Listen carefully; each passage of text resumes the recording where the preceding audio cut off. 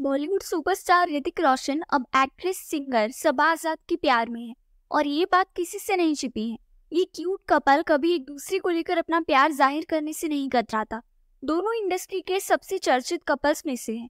दोनों पिछले कुछ साल से एक दूसरे को डेट कर रहे हैं और सोशल मीडिया पर भी एक दूसरे पर जमकर प्यार लुटाते हैं।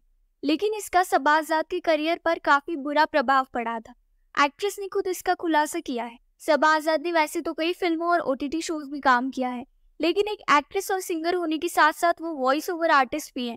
लेकिन ऋतिक रोशन से रिलेशनशिप में आने के बाद उन्हें वॉइस ओवर का काम मिलना बंद हो गया। सबा ने अपनी इंस्टाग्राम स्टोरी पर एक रिकॉर्डिंग स्टूडियो से अपना वीडियो शेयर किया है, जिसके साथ उन्होंने लंबा चौड़ा कैप्शन लिखा है। वो कहती है कि मैंने कभी किसी को नहीं कहा कि अपना काम छूट रही मैंने कभी नहीं कहा कि मुझे इसमें दिलचस्पी नहीं है। मैं पूरी तरह से क्लूलेस थी। मुझे एक महीने पहले तक कुछ भी नहीं पता था। मुंबई लौटने पर जब मैं एक ऐसे निर्देशक से मिली, जिसके साथ मैं नियमित रूप से काम कर रही थी, मैं खुद को उसे सवाल करने से रोक नहीं सकी और सीधे उनसे पूछा, तुम लोग अब मुझे वीओ के लिए बुलाते क्यों नहीं?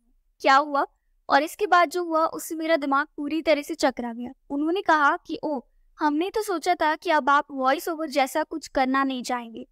सबा आज़ाद ने लोगों के इस माइंडसेट पर सवाल उठाते हुए लिखा कि क्या हम अभी भी उस अंधेरे में जी रहे हैं जहाँ हम ये मान लेते हैं कि एक सक्सेसफुल पार्टनर के साथ रिश्ते में रहने वाली लड़की को अपने खाने और जरूरतों की खुद व्यवस्था नहीं करनी पड़ती? ये किस तरह की पिछड़ी हुई सोच है? सबा का कहना है कि जब से इंडस्ट्री के लोगों को पता चला है कि वो ऋतिक को डेट कर रही है तो उन्हें वॉइस ओवर का काम मिलना बंद हो गया, क्योंकि लोगों को लगने लगा था कि उन्हें ये काम करने की अब ज़रूरत नहीं है।